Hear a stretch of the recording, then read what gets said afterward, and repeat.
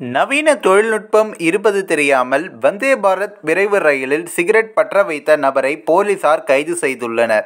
இது குறித்து விரிவாக நாம் இந்த வீடியோவில் பார்க்கலாம். மேக் இந்தியா திட்டத்தின் கீழ் உள்நாட்டில் வடிவமைக்கப்பட்டு தயாரிக்கப்பட்ட semi high speed Vande Bharat அதிவேக ரயில்கள் இரண்டாயிரத்தி பத்தொன்பதாம் ஆண்டில் அறிமுகப்படுத்தப்பட்டன. அதன் தொடர்ச்சியாக ஒவ்வொரு மாநிலத்திலும் வந்தே பாரத் ரயில்களை பிரதமர் மோடி தொடங்கி வைத்து வருகிறார். ஆனால் வந்தே பாரத் ரயில்கள் ஏதேனும் சர்ச்சையில் தொடங்கி சிக்கி வருகிறது.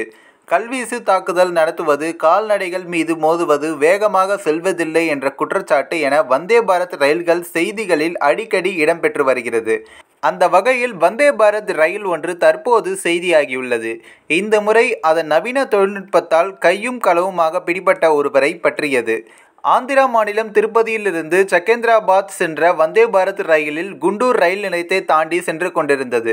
அப்போது டிக்கெட் எடுக்காமல் ரயிலில் ஏறிய பயணி ஒருவர் தன்னை பாதுகாத்து கொள்ள கழிவறைக்கு சென்று பூட்டிக் கொண்டிருந்துள்ளார். அப்படியே பேசாமல் உட்கார்ந்திருந்தால் ஒருவேளை அவர் இலவசமாக பயணம் செய்திருப்பார். ஆனால் விதி யாரை விட்டது?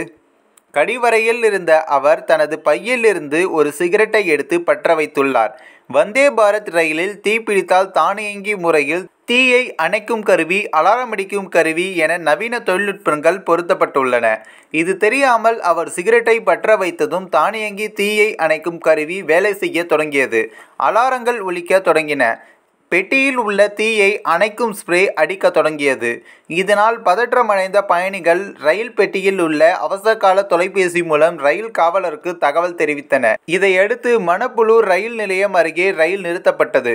ரயில்வே போலீசார் விரைந்து வந்து தீயணைப்பு கருவி மூலம் கழிவறை ஜன்னல் கண்ணாடியை உடைத்து பார்த்தபோது உள்ளே அந்த நபர் புகைப்பிடித்ததுடன் இவ்வளவு பிரச்சனைக்கு காரணம் என கண்டறிந்தனர்.